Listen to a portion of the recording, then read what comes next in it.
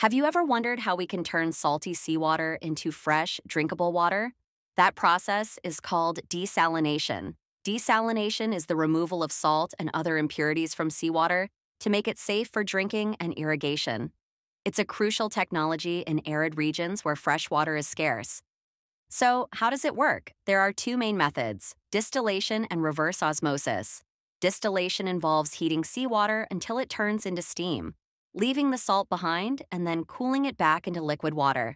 Reverse osmosis uses high pressure to push seawater through a special membrane that traps salt and impurities, letting only clean water pass through.